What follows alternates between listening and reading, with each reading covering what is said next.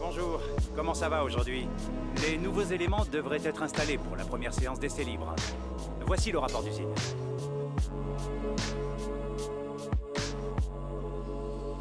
Bonjour, vous nous rejoignez à quelques minutes du départ des essais ici, à Monza. Les équipes travaillent d'arrache-pied sur des réglages de dernière minute avant de sortir sur la piste.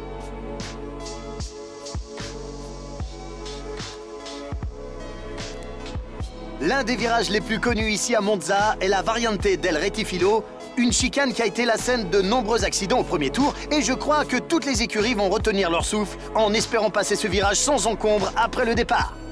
Il est très difficile de bien négocier son freinage à l'approche de ce virage car les pilotes l'approchent à plus de 330 km/h et doivent freiner environ 120 mètres avant l'entrée du virage pour pouvoir s'y engager à environ 80 km/h. Il est très facile de survirer et de se retrouver sur la zone de dégagement pendant que vos concurrents vous passent devant.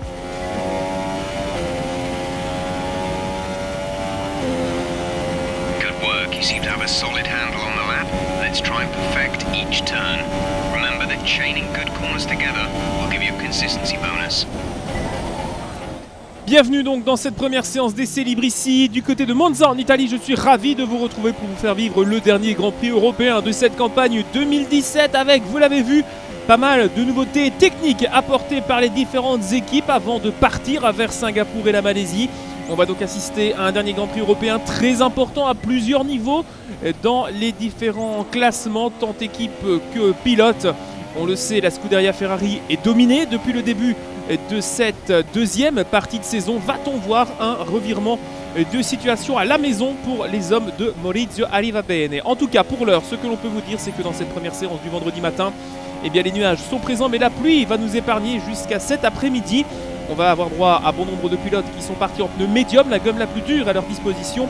Ce week-end, nous attendons de bonnes évolutions de la part de Force India, Haas et Renault qui ont amené ici de nouveaux packages tant aérodynamiques que au niveau des performances mécaniques. Le bloc Mercedes a subi sa dernière évolution de la saison pour les voitures de Valtteri Bottas et Lewis Hamilton. On va donc voir ce que donnera la qualification, mais ça ce sera pour demain. Pour l'heure, on va conclure la première séance d'essai libre qui s'est déroulée sans aucune encombre pour aucun des pilotes ici à Monza.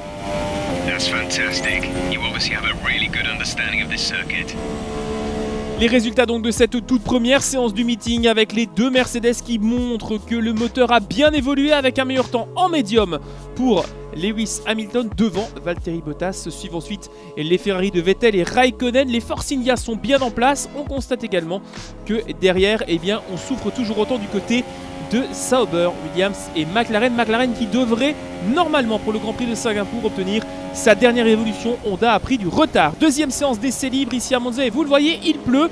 Et comme souvent dans ces cas-là, eh bien, on se laisse surprendre par la piste et on sort dans le rail. The front wing is in a really bad state. We need you back in the pits this lap.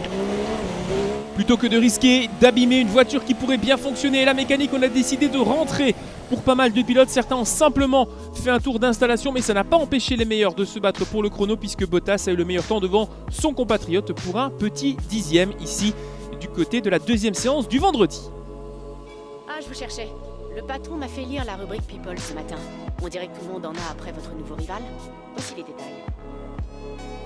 Désormais, Force India devra se concentrer sur une bataille au classement face à Daniel Ricciardo et peut-être envisager la perte de l'un de ses pilotes à l'issue de la saison si ça se passe bien pour le pilote belge. En attendant, on va se concentrer désormais sur la qualification car la troisième séance a été également marquée par la pluie ici à Monza. Bonjour, ça va? Voici ce qu'on attend de vous aux qualifications de ce week-end. Logiquement, l'objectif est la septième position et battre Daniel Ricciardo. Les qualifications vont bientôt commencer ici sur le circuit de Monza pour le Grand Prix d'Italie. Les équipes vont sortir sur la piste d'ici quelques minutes.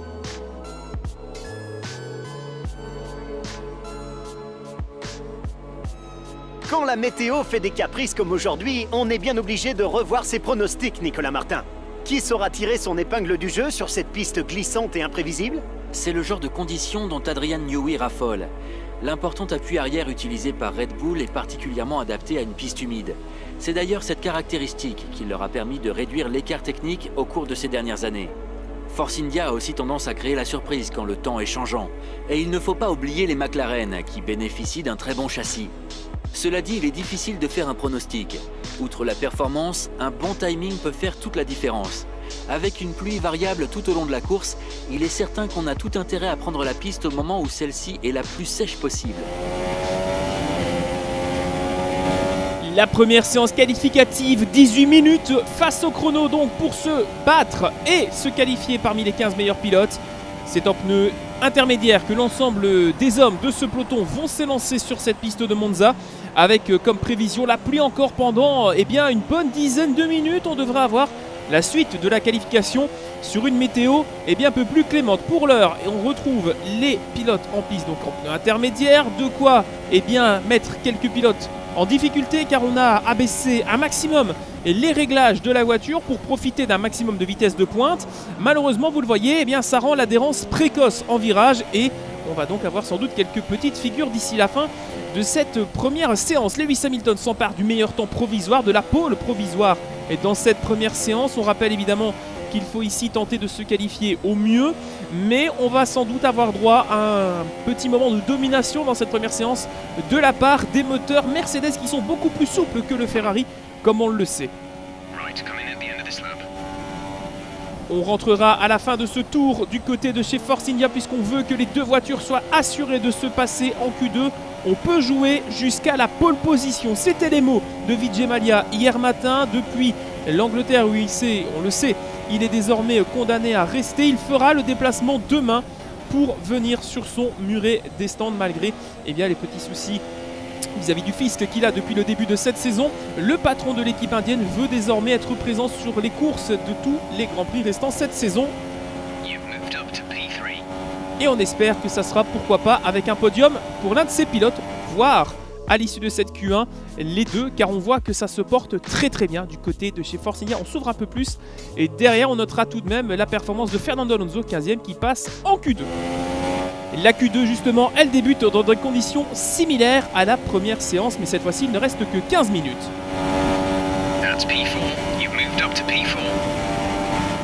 Actuellement, il reste 10 minutes dans cette séance. La pluie ne semble pas dégrossir et il est toujours aussi difficile de garder la voiture en piste. On va donc retrouver les pilotes de nouveau en pneus intermédiaires, mais cette fois-ci, il faudra aller chercher le top 10. Se sont éliminés les deux Sauber. Aussi attendait la voiture de Stoffel Van et Lance Stroll 17ème sur cette grille.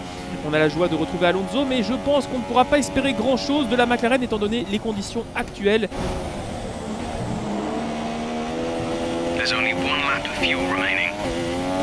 On fait un point sur le carburant du côté de l'équipe Force India. On peut espérer peut-être mettre les deux voitures dans le top 5. Ce serait une excellente performance après la grosse désillusion de Spa-Francorchamps. On a perdu beaucoup, beaucoup dans les deux derniers tours du côté du pilote belge à domicile qui a été extrêmement touché et ému à la fin du Grand Prix euh, vis-à-vis de ses fans qui ont été euh, là pour euh, soutenir cette immense défaite alors qu'on pensait avoir une victoire ou moins un podium à domicile du pilote belge. Meilleur temps dans le deuxième partiel pour l'instant pour la Force India, c'est toujours Esteban's currently in P5. Okay, Jeff, copy. We can't improve in this condition. Can't improve in this condition. On ne peut pas améliorer dans ces conditions. Voilà les mots du pilote belge à la radio à son ingénieur Jeff. On va quand même tenter de faire un petit peu mieux pour voir si on peut aller rechercher un chrono un peu plus favorable. La sortie de la parabolique, cette grande courbe, le dernier passage sur le transpondeur. Et c'est le meilleur temps provisoire pour le pilote Force India pour le moment. Incroyable performance dans ces conditions pour une voiture qui, on le savait, a débuté très loin en début d'année.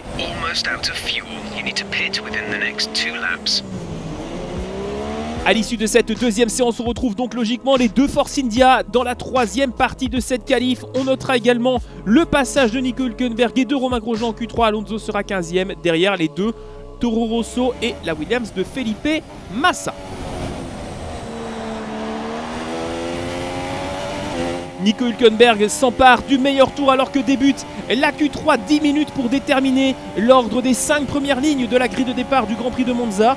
Demain, la météo sera plus clémente, mais c'est toujours la pluie que l'on pensait est bien en train de partir. Mais non, elle revient et elle s'intensifie. Et on va peut-être avoir droit à quelques surprises à l'issue de cette séance. Bataille face au chrono avec Daniel Ricciardo qui pour l'instant prend le meilleur temps face à ses adversaires. On suit la sortie du rectifilo, cette première chicane qui donne vers la Curva Grande, la grande courbe. La deuxième chicane qui nous amène ici à la fin du premier partiel de ce circuit de Monza avec les écarts qui sont toujours aussi serrés devant. La Force India est légèrement en retard dans ce premier partiel qui n'est pas celui qui lui convient le mieux.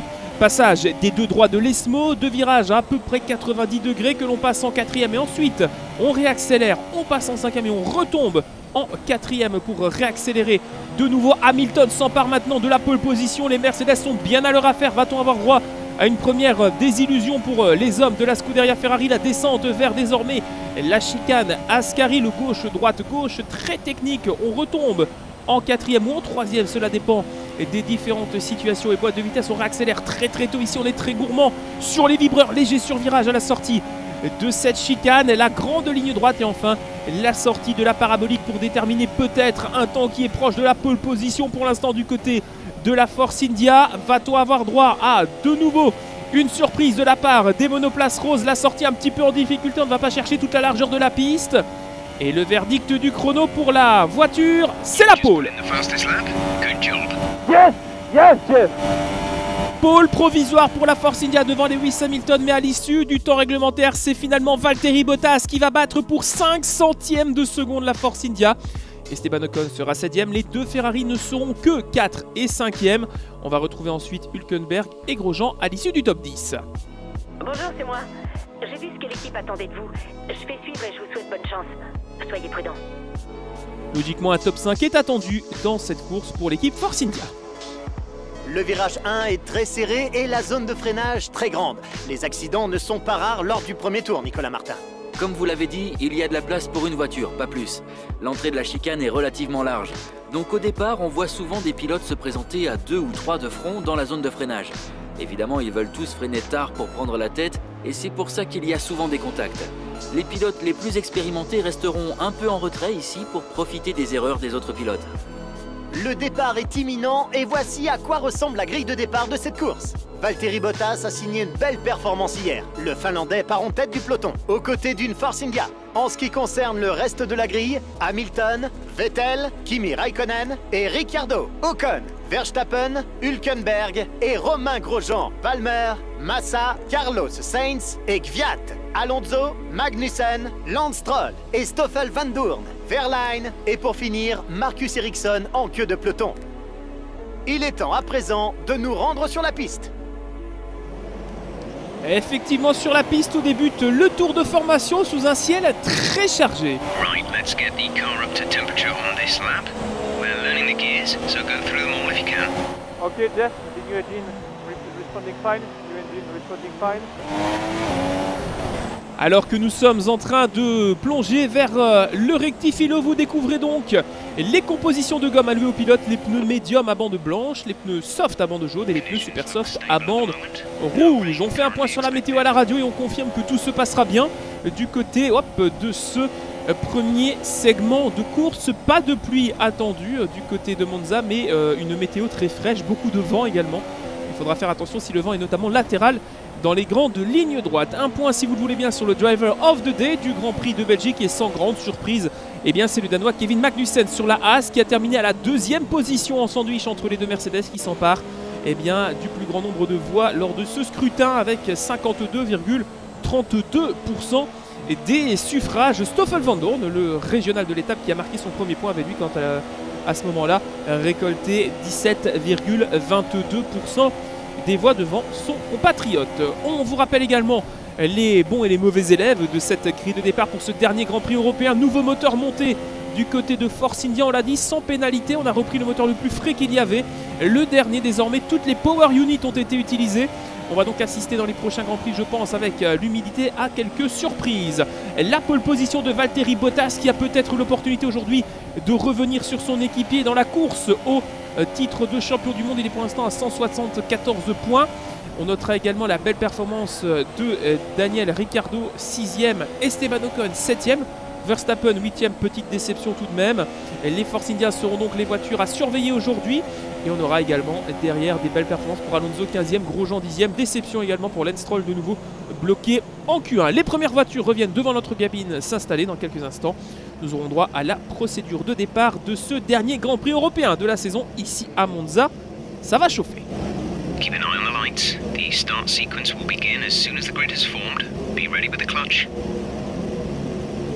Les derniers bolides qui s'arrêtent, le drapeau vert va être présenté dans quelques instants. La procédure de départ ici à Monza, les 5 feux rouges qui vont s'allumer. Voilà, c'est parti. Quand ils s'éteignent, ce sera parti pour le Grand Prix de Monza. Très bon envol de Valtteri Bottas également.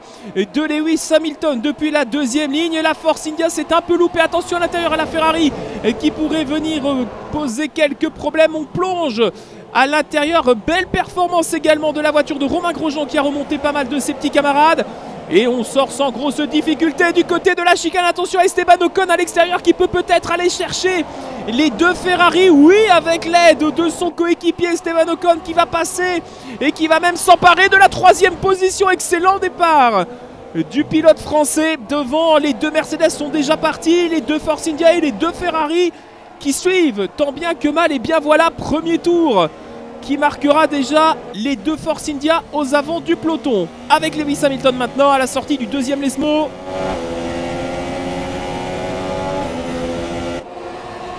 Bottas, Hamilton, Ocon, Maxime devant les deux Ferrari. Allez, Lewis Hamilton qui peut peut-être euh, prendre désormais l'avantage sur Kimi. Raikkonen si euh, le Grand Prix se passe bien. Les Ferrari pour l'instant en difficulté, ça attaque derrière évidemment. On garde un œil sur euh, la tête de course avec Bottas qui va conclure cette première boucle en tête. Et derrière, on a été plutôt sage, pas trop de soucis de cafouillage dans le premier passage du rectifilo. Quel départ d'Esteban Ocon. Bien aidé, certes, par euh, son équipier. Allez, c'est fait. Premier tour couvert ici à Monza. Et attention parce que derrière, les Ferrari de Raikkonen et de Vettel sont menaçantes. On est en caméra embarquée avec le Finlandais. Deuxième passage dans le rectifilo. On est un peu plus tendre du côté des vibreurs chez Ferrari que chez Force India. Et oui, regardez la réaccélération.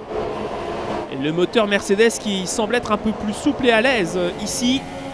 Retour avec euh, le pilote belge qui a déjà 7 euh, dixièmes de retard sur son équipier. Peut-être a-t-on opté pour des stratégies différentes. On sait qu'Esteban Ocon est en pneu super soft, là où le pilote belge est en pneu plus dur, donc avec un stint plus long, devrait pouvoir faire une stratégie à un seul arrêt. Pour ceux qui sont partis en pneu médium ou en pneu super soft. Allez, on revoit le départ. Depuis la monoplace du français Esteban Ocon parti du côté extérieur.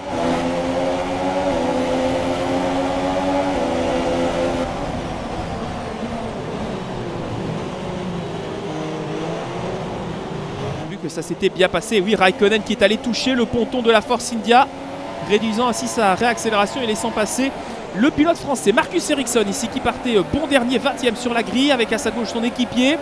On voit la McLaren de Stoffel Van Dorn ici qui va se faire tout de suite dépasser. Marcus Ericsson, euh, ouais, très bien joué, excellent freinage du pilote de la Sauber qui s'est placé quasiment dans les points. Là, il a remonté jusqu'à la voiture de Jalen Palmer. Allez, départ avec Raikkonen, on va sans doute voir le contact avec la Force India. Excellent envol du Finlandais qui a été un petit peu bloqué par Lewis Hamilton. Il n'a pas pu passer à droite, mais il était mieux parti, on l'a vu. Il avait tenté sa chance, mais ça ne passait pas.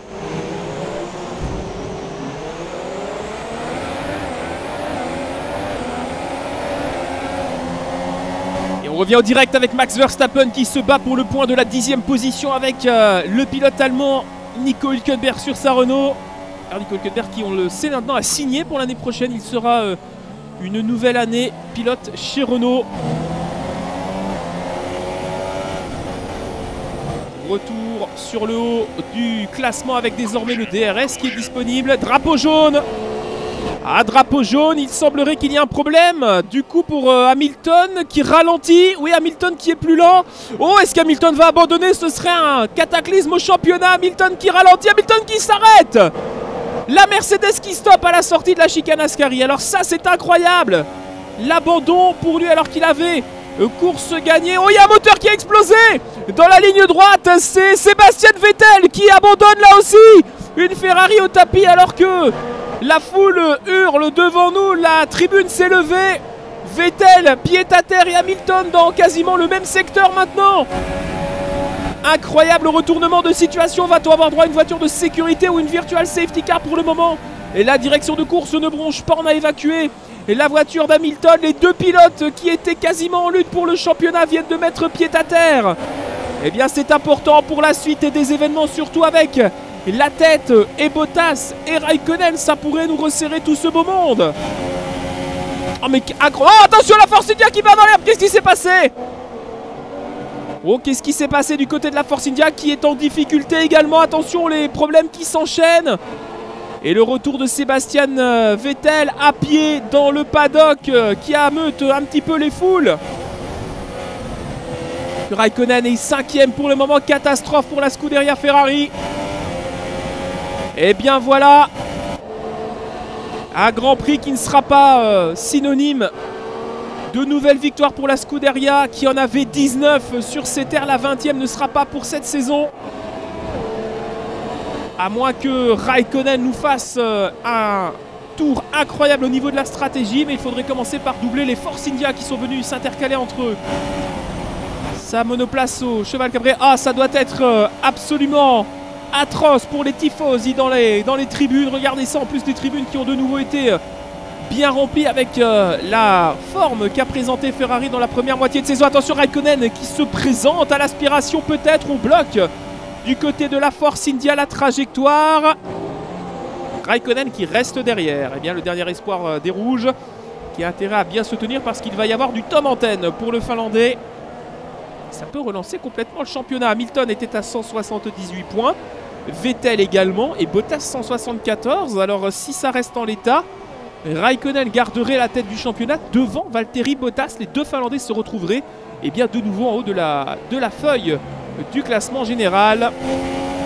Et dans ce cinquième tour de course, on parlait des, records de victoire ici. La Scuderia Ferrari en a 19 devant McLaren qui n'aura pas sa 11e elle lors de ce Grand Prix. Et ensuite, eh bien, on retrouve Alfa Romeo. 8 victoires, 7 pour euh, l'équipe Mercedes, en comptant évidemment les années 50. Et ensuite 6 euh, victoires pour Williams et 5 pour l'équipe Lotus. Voilà un peu pour les équipes qui ont été les plus euh, couronnées ici à, Monza. Parlons du couronné d'ailleurs. Si on revient un petit peu dans le, passé, c'est ici qu'on a eu le premier champion du monde de l'histoire, Giuseppe Farina. C'était en 1950 évidemment. L'année de la création de ce championnat du monde de Formule 1. Revenons au direct si vous le voulez bien maintenant après ce petit point historique. Il y en aura d'autres évidemment si cela s'y prête. Avec euh, désormais eh bien, la tête pour Valtteri Bottas devant les deux Force India qui sont actuellement en train de se battre. Le DRS peut-être pour le pilote belge. Va-t-il aller chercher son équipier? Non, pas pour le moment. Alors il faut être très stratégique et très prudent du côté des hommes de Vijay qui est présent finalement. Il est arrivé ce matin. Il est sur le muret des stands, le pilote euh, Ferrari maintenant. Vettel qui est rentré. Alors que du côté de Hamilton, on est directement parti au motorhome. Même pas passé par la case des interviews. La lutte ici avec euh, Romain Grosjean.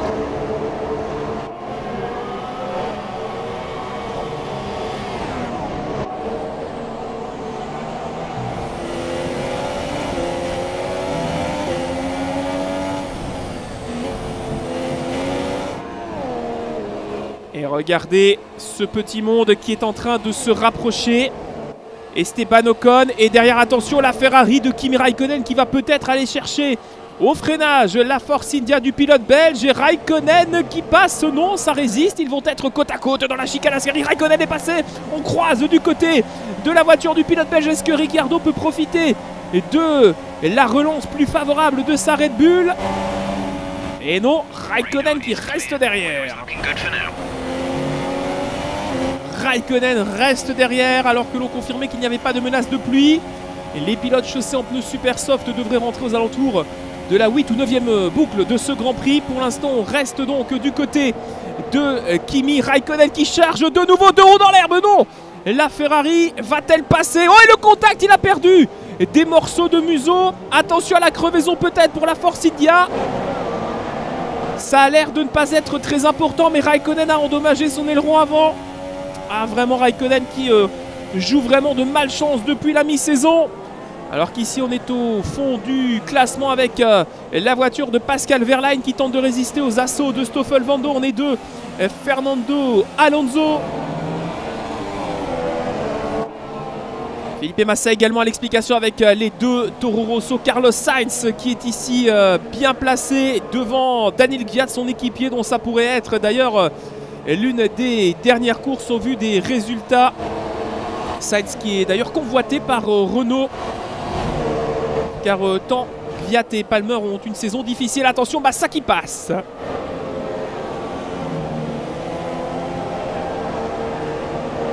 Felipe Massa qui est donc passé dans le freinage avant la chicane Ascari.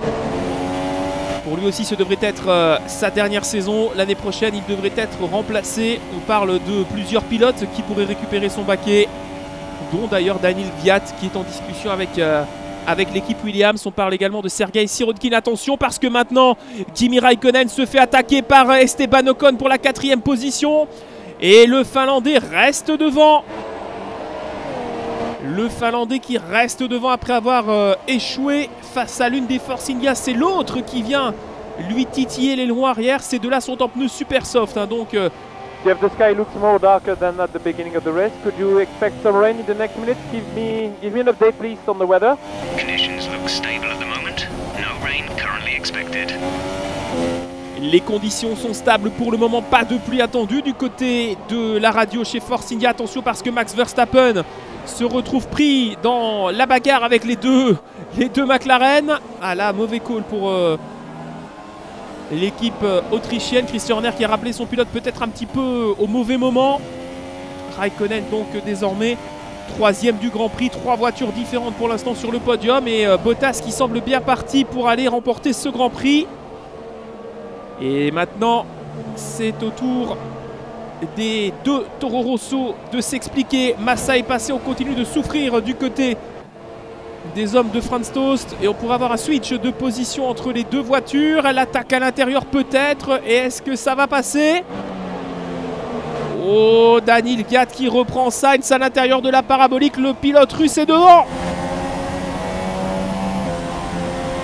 Le pilote russe qui est passé désormais devant son équipier. Bien joué à Daniel Gviat qui a bien besoin de points, mais Sainz n'a pas dit son dernier mot. Le DRS peut-être pour récupérer la position. Oh, les changements de ligne extrêmement délicats avec euh, les longs arrière ouverts. Et pour l'instant, ça reste toujours au profit de. Oh, Kimi Raikkonen qui est arrêté Kimi Raikkonen qui est stoppé à la chicane. Il peut repartir. Qu'est-ce qui s'est passé? Sans doute un problème pour le Finlandais qui a perdu beaucoup de positions. Il est quasiment maintenant et il est 15ème, Kimi Raikkonen. Euh, non, il est plus haut dans le classement, 12ème position. Mais qu'est-ce qui s'est passé? Ah, Kimi Raikkonen qui a été bloqué sur le vibreur, ce qui laisse Esteban Ocon 3ème. Mais quelle malchance pour les hommes de la Scuderia Ferrari. Quelle malchance Ah, il y a de quoi manger son calot du côté euh, de Maurizio Arrivabene qui va voir ses deux voitures euh, eh bien désormais euh, faire un zéro pointé. Alors que là on a l'attaque euh, de Massa, non de Lance Stroll pardon sur euh, Marcus Ericsson le pilote suédois. Allez, le DRS va peut-être suffire à protéger Lance Stroll, oui. Hop, attention parce que derrière on s'infiltre peut-être pour la Red Bull. Et Ericsson avec Stroll. Stroll va repasser, oui voilà, Stroll qui reprend l'avantage, c'était logique après tout. On est en train d'avoir une lutte euh, qui euh, tourne en faveur de Valtteri Bottas parce que Raikkonen va faire 0 pointé, Vettel et Hamilton aussi. Ce qui veut dire que Bottas avec 174 points, s'il remporte la course, viendrait rejoindre Raikkonen en tête de ce classement avec 192 unités. Ce serait le classement estimé de ce, championnat du monde après le Grand Prix de Monza. On retrouverait donc Raikkonen et Bottas à 192 points et 14 points derrière Hamilton et Vettel. Incroyable le scénario de cette saison. 4 pilotes en lutte pour le titre. Alors derrière, on pourrait éventuellement avoir euh, la voiture de Daniel Ricciardo qui resterait euh, au contact de Verstappen avec cette Force India. To mix 2. Fuel to mix 2. Jeff, on my dashboard, I saw that I'm gaining some times against Bottas. So we keep pushing. I keep the, rich mix for the moment. Rich mix for the moment. Ah, petite, euh, petite situation de désaccord du côté de chez Force India, alors que l'on observe l'un des premiers arrêts pour Nico Hülkenberg avec la Renault qui repart en pneu médium pour aller au bout de ce Grand Prix, sauf euh, catastrophe. On a effectivement euh, décidé de continuer d'attaquer du côté du pilote qui ne préfère pas suivre les consignes de son ingénieur. Et on retrouve donc Valtteri Bottas en tête de ce Grand Prix dans un no man's land incroyable. Mais euh, au niveau du, rythme, on a franchement baissé. On tourne une demi-seconde moins vite pour le moment. Alors est-ce qu'on est en train d'économiser des pneumatiques pour le Finlandais? J'espère que ça n'est pas un problème similaire à ce qu'a connu euh, et euh, Vettel et Hamilton en début de course parce que là, voir deux moteurs de top 10 s'arrêter en plein milieu de l'aventure, assez, euh, assez bizarre. Le mauvais timing, dirons-nous, la mauvaise blague de voir les deux hommes de tête du championnat se retrouver pied à terre à l'issue du même euh, virage quasiment. Allez, retour euh, de nouveau en caméra embarquée. Non, on va quitter la bagarre pour la tête de course et on se concentre sur la dernière Ferrari restante, celle de Kimi Raikkonen. Leader, 8.5 seconds. Ouais, effectivement, l'écart qui passe de 9 secondes 7 à 8 secondes 5, 7 dixièmes de perdu pour Valtteri Bottas dans le dernier tour. Donc on conserve vraiment les pneumatiques, voire le carburant sur un tour ou deux pour, euh, Bottas. Retour derrière avec Raikkonen qui continue d'essayer d'aller rechercher des places et ça rentre, ça boxe pour Raikkonen. Alors on va surveiller si euh, du côté de la Scuderia Ferrari on va prendre le, temps de changer le museau de la dernière voiture en course parce que là, vous voyez, du côté avant droit, on a perdu 3-4 dixièmes au tour. Regardez les dégâts sur l'avant droit. Et non, on ne change pas le museau. On repart pour et avec euh, les pneus médiums, on ira au bout. Et alors que ça rentre également du côté de Marcus Ericsson. Euh, On parlait également tout à l'heure des, victoires au niveau constructeur. Au niveau des pilotes, c'est Michael Schumacher qui a toujours euh, le, record. On pense beaucoup à lui d'ailleurs, qui eh a désormais 5 victoires devant et Nelson Piquet, le pilote brésilien qui précède alors hors championnat Nouveau Larry. Nouveau Larry qui avait gagné 3 courses dans les années 30. euh, on ne peut plus vous donner les dates exactes de mémoire. Mais euh, Nouveau Larry, l'Italien, qui avait euh, remporté 3 courses. Tout comme euh, d'autres pilotes d'ailleurs. Ascari, Fangio, Peterson, Prost. Encore Sébastien Vettel qui avait d'ailleurs en 2008 ici glané sa première victoire en Formule 1. C'était sur une Toro Rosso dans des conditions atroces. Grand Prix qui avait d'ailleurs quasiment signé la fin de la carrière en Formule 1 de Sébastien Bourdet. Grand Prix de Monza qui avait euh, souri aux Français, je le disais avec Prost ici, trois victoires. Just copy. What's his tire? La Force India que Ocon est au box. Effectivement, on voit les dégâts sur le ponton droit de la voiture d'Ocon qui repart désormais, lui, avec un train de médium. Eh bien, on sera sur la même stratégie pour tout le monde. Ah, des, des pneus super tendres, pardon. Des pneus tendres à bande jaune. Voilà le schéma. Super et tendre. Attention ici euh, avec Lance Stroll qui est attaqué logiquement hein, par la voiture de euh, Daniel Ricciardo qui va repasser l'Australien. Oui, qui passe devant le Canadien.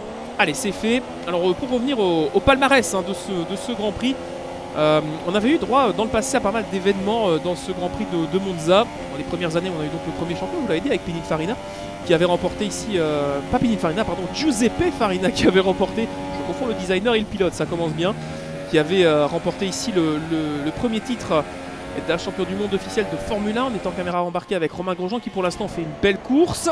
Ici avec euh, la, la Haas qui se porte bien. Et il y a eu d'autres événements. La première euh, victoire également de Jackie Stewart en 65, futur triple champion du monde avec Stewart. Il y avait eu pas mal de discussions à l'époque sur la sécurité ici. En 71, on a eu droit à l'arrivée la plus serrée de l'histoire. Il y avait 7 voitures qui ont terminé en 6 dixièmes de You'll seconde. be Je crois que C'était the absolument, incroyable l'écart final du podium de ce, Grand Prix. Il y a d'autres moments un peu plus, euh, un euh, et un peu plus tragiques aussi. On se rappelle en 78 l'accident de Ronnie Peterson au départ suite à l'embrasement de sa, voiture et des complications euh, lors de ces opérations qui ont coûté la vie donc à, à Ronnie Peterson en 70. Jürgen Rindt a été titré ici à titre posthume pour la seule et unique fois de l'histoire de la, de la Formule 1. On a eu aussi quelques, quelques petits miracles, hein, euh, notamment l'année euh, du décès du Commendatore et Enzo Ferrari No rain expected. No rain expected for the time being. avec le doublé euh, Alboreto Berger. Jeff, it seems like Bottas is slowing down and gaining some time on my dashboard. So could you give me more information of Bottas' situation, please?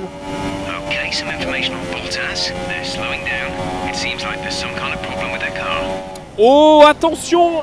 Alors que l'on a une information primordiale qui arrive à la radio du côté de la Force India du pilote belge.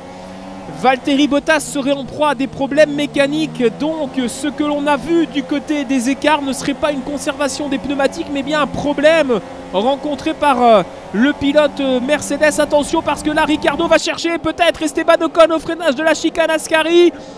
Ocon qui résiste avec des pneus soft neufs. Et l'Australien qui passe. Reprise de la position pour euh, Daniel Ricciardo. Grosjean est toujours troisième. Mais alors attention parce que ça veut dire que si Bottas a des problèmes, on pourrait retrouver une Force India en tête. Et ça, ça changerait grandement la phase de ce Grand Prix. Alors qu'ici, l'autre A, c'est en lutte Kevin Magnussen avec la Toro Rosso dans la ligne droite. L'aspiration peut-être pour voir un changement de position. Et est-ce que ça va passer? Au freinage Oh, attention Magnussen qui résiste et Sainz qui finit par trouver l'ouverture. Et est-ce qu'il y a une meilleure relance sur la Toro Rosso? Oui, ça passe. Et bien voilà, ça aura été compliqué, mais Sainz qui a repris l'avantage sur Magnussen. Attention, Verstappen qui, comme son équipier, continue sur Romain Grosjean d'attaquer dans le peloton. Et bien attention, oui, Bottas qui perd encore une seconde et demie sur ce tour. Bottas qui est réellement en difficulté. Attention, peut-être la fin des espoirs pour le Finlandais. Va-t-on avoir droit à un double abandon chez Mercedes alors qu'Ocon reprend la voiture de Daniel Ricciardo? Okay, distance to teammate 26.4 seconds. On informe le pilote Force India de l'écart avec son équipier et on retrouvera donc désormais Ocon à la chasse. Voilà le Français qui passe dans la ligne droite. Et attention parce que si la stratégie fonctionne chez Force India, on pourrait retrouver les deux voitures sur le podium, voire faire un doublé. Alors la dernière victoire de l'écurie, ça remonte à longtemps. Okay, Jeff, I need a full update on Bottas. And uh, do I need to keep pushing like that for a few laps? Bottas is ahead of you. Our gap to the car in front is 6.8 seconds. You're taking two and a half seconds out of them each lap. They're on old mediums. We think they've got one more stop. They have some kind of mechanical problem. The time last lap was a 1 minute 29.1. Et on fait un point du côté de chez Force India sur la situation avec Valtteri Bottas qui effectivement perd une seconde et demie au tour alors que là c'est Massa qui s'attaque à Stroll.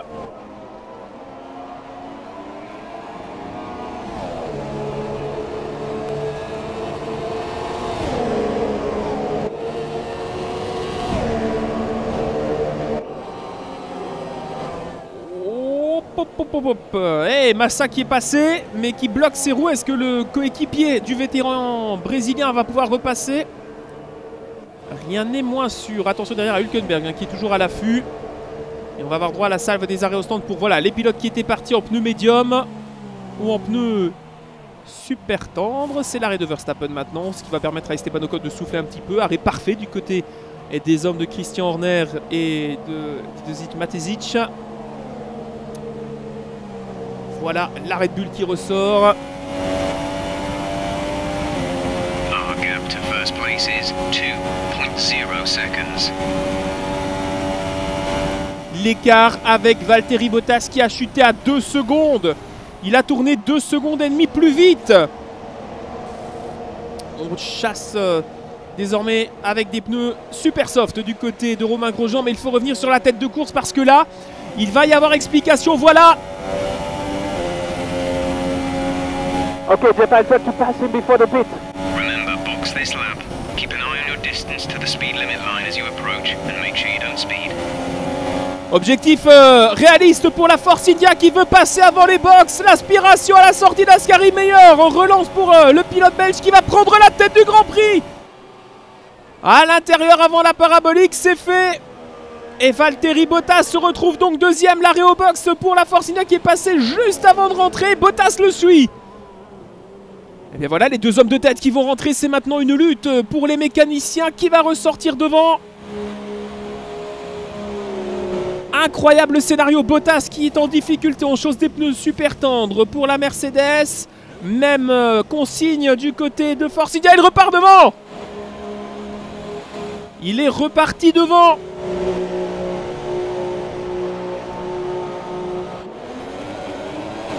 La Force India qui ressort donc en tête de ce Grand Prix. Troisième position pour Esteban Ocon. Scénario idéal pour les hommes de Vijay Malia. Va-t-on assister avec, euh, on va dire, euh, deux semaines de retard euh, depuis Spa-Francorchamps à la première victoire du pilote belge? Je pense que la dernière victoire d'un pilote belge, il faut remonter à Thierry Boutsen en 1990. Avec la Williams en Hongrie, je crois que c'est le dernier succès d'un pilote du plat pays. Oh, attention, les pneus sont frais et on attaque très très fort. Il met déjà une seconde 5 à Bottas. Mais la question c'est surtout est-ce que cet homme, Esteban Ocon, peut aller rechercher Valtteri Bottas pour placer les deux roudoudous, les deux Force India bien roses en tête du, du classement? Et il faut voir si du côté de Bottas on a pu résoudre le problème lors de l'arrêt au box. Mais quelle incroyable performance pour l'instant. Stratégie parfaite, une seconde 5. L'écart se stabilise. Bottas semble avoir résolu ses problèmes. Peut-être un problème de, pneumatique aussi hein, du côté euh, du pilote finlandais. En tout cas, ce qui est sûr, c'est que désormais, nous avons deux Force India sur le podium. Et ça, ça fait longtemps que l'on attend ça depuis quelques années maintenant.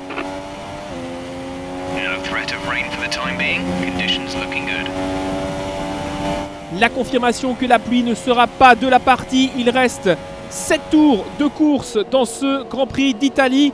Esteban Ocon, troisième à de la marge. La quatrième position était pendant un instant acquise à Nico Hülkenberg. Mais regardez derrière, il n'y a plus personne.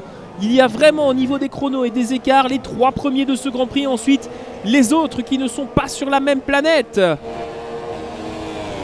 Valtteri Bottas, s'il met les 18 points de la deuxième position, serait effectivement maintenant apte de prendre euh, la tête du classement à égalité avec Kimi Raikkonen. Massa au box, des pneus super tendres. Deuxième arrêt pour euh, le pilote brésilien qui va donc cette fois aller au bout du Grand Prix. Deux arrêts pour lui. C'était peut-être pas la meilleure stratégie étant donné les conditions fraîches obtenues pendant tout le Grand Prix.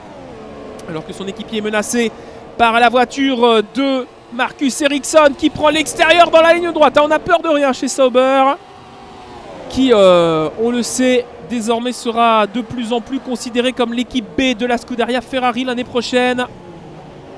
Oh, et McLaren qui voit ici Stoffel Van Dorn revenir et passer la voiture de Lenstroll. Okay, so he's back to his original rhythm, so we keep an eye on him. Keep an eye on him, please. Bottas has just put in a new fastest lap. Record du tour pour euh, la Mercedes de Valtteri Bottas qui remet donc les pendules à l'heure. On va droit vers un duel entre les deux hommes. Et regardez Verstappen et Ricardo qui passent. Nico Hülkenberg en difficulté. Oh oui, il est lent, il est lent Hülkenberg, il a perdu une seconde sur le tour précédent. Verstappen pour l'instant quatrième. Est-ce que Ricardo va aller chercher le pilote Renault? Alors que derrière Raikkonen se fait déborder de toutes parts par euh, la Toro Rosso et la Oh là là là là. Et là, la Haas, Daniel Ricciardo qui passe. Et Raikkonen qui perd encore du temps. Hülkenberg qui est donc euh, désormais derrière euh, la Red Bull.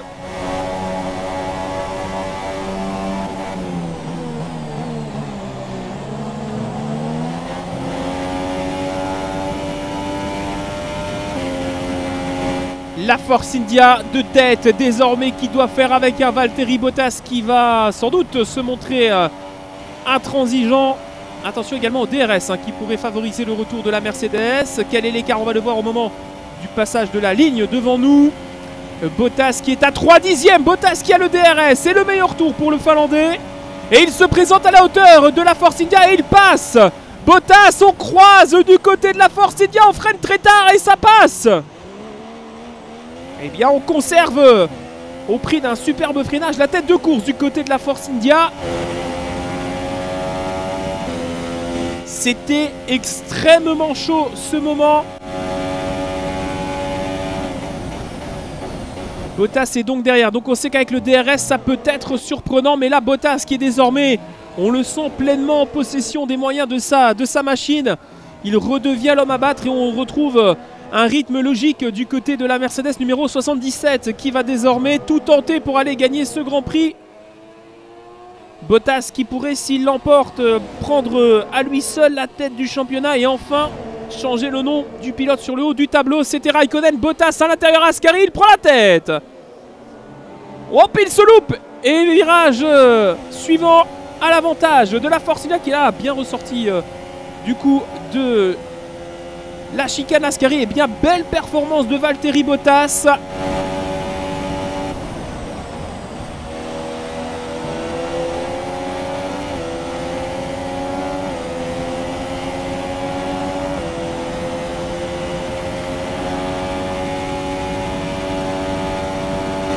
Est-ce que cette fois-ci Bottas va pouvoir euh, faire fonctionner le DRS Il est un petit peu loin et la Force India reste en tête. Par contre derrière, on voit qu'Esteban Ocon a lâché. Il n'y a plus de contact direct entre les deux hommes de tête et le poursuivant.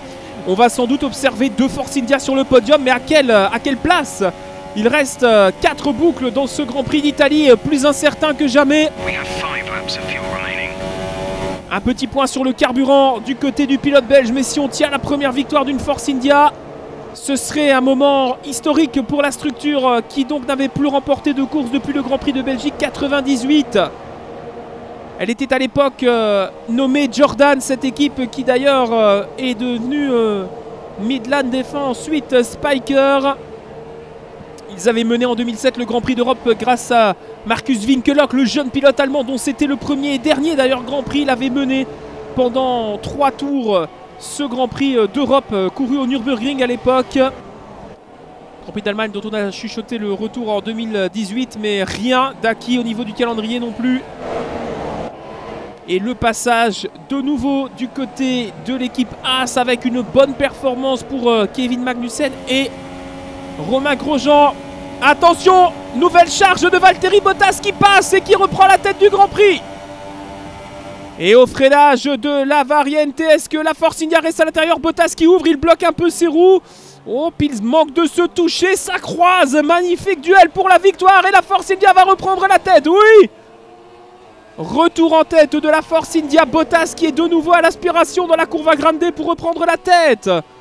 Excellent duel entre les deux hommes très propres pour le moment. Imaginez un instant les Tifosi avec trois moteurs Mercedes sur le podium.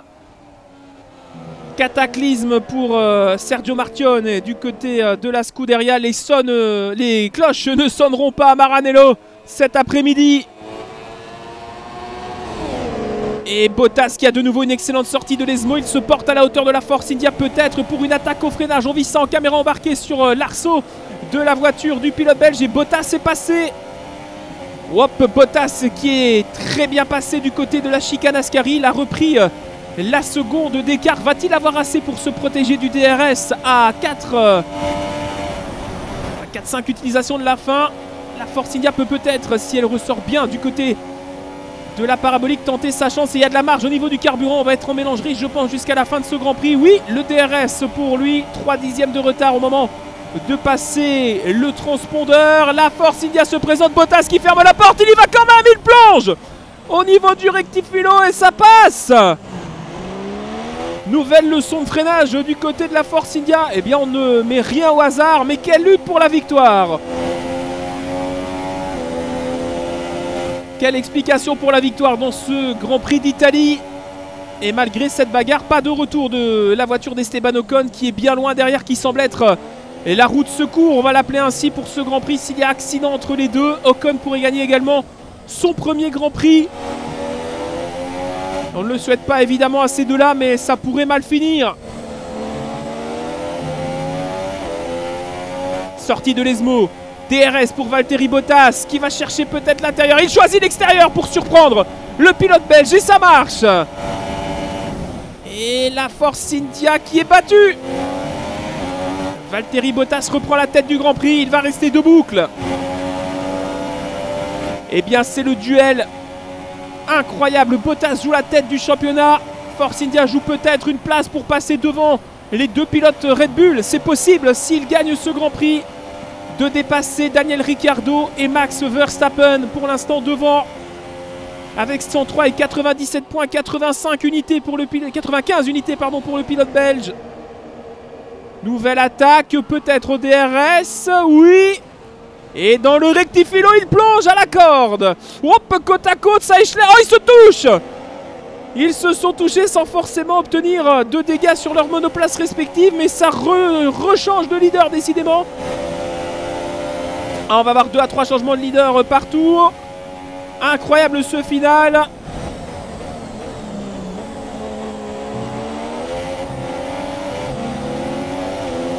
Valtteri Bottas peut être en train de confirmer sa position de leader au sein de l'équipe Mercedes et le pilote Force India peut-être en train de signer son contrat pour l'année prochaine au sein de cette même équipe. Puisqu'on le sait, Hamilton désire partir, Bottas n'est pas sûr de rester. Mais là, si Bottas va chercher la Force India, ça pourrait être le coup de grâce. Il va y aller, non Il ne peut pas déboîter avant la chicane Ascari. Incroyable tension ici alors que les tours et les kilomètres s'égrènent. Il reste désormais peu de possibilités à Bottas pour aller reprendre la tête de course. Le DRS dans la ligne droite sera intéressant à suivre. Est-ce qu'il va réussir à passer Bottas? Il prend large la parabolique. C'est logique pour mieux repiquer. Et on entame le dernier tour de course. This is your final lap.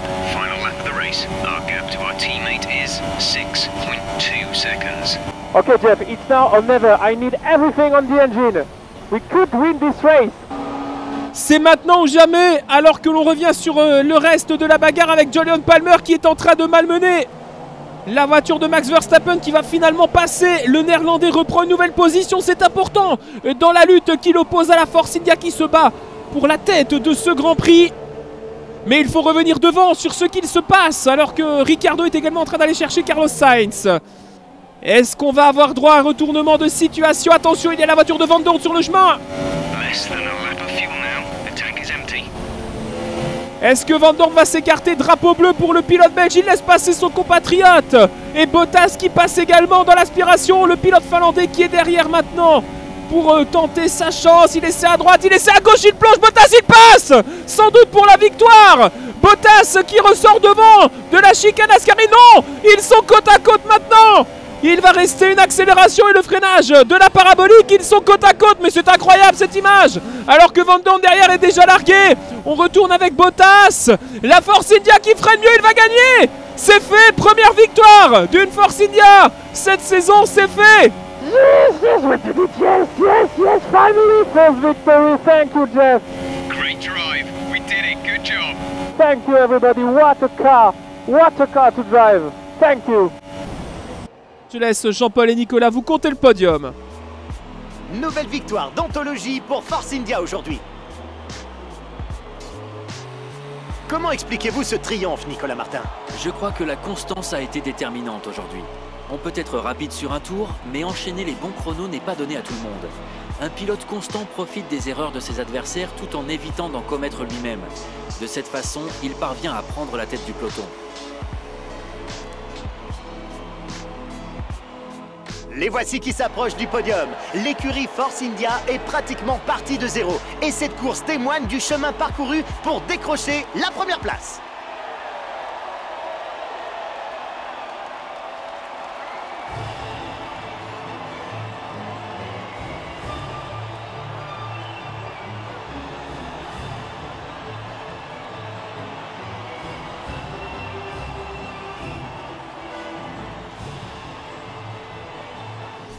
On découvre les résultats définitifs de ce Grand Prix. 25 points pour la Force India du pilote belge Esteban Ocon qui met 15 unités. Excellente performance de la part des deux hommes de Vijay Malia. La Brabanson a donc retenti pour la première fois depuis euh, près de 25 ans ici en Formule 1 avec euh, donc Valtteri Bottas deuxième pour un écart de 4 dixièmes de seconde. Sans les problèmes de la Mercedes, on aurait sans doute une victoire du Finlandais qui se retrouve donc désormais à égalité avec son compatriote. Derrière, belle performance de Daniel Gviat qui sauve sans doute sa saison. Et nouvelle belle performance de Carlos Sainz. Les deux Toro Rosso dans les points, c'est assez rare pour le mentionner. Euh, du côté du classement, la 11e position de Raikkonen fait que désormais nous avons 4 pilotes en 14 points. Rien n'est donc joué avant le Grand Prix de Singapour où je vous donne désormais rendez-vous remontée d'Esteban Ocon et remontée du pilote belge au classement. Merci à toutes et à tous d'avoir suivi ce trépignant Grand Prix de Monza. On se retrouve donc dans les rues de Singapour de nuit. Merci à toutes et à tous et à la prochaine. Ciao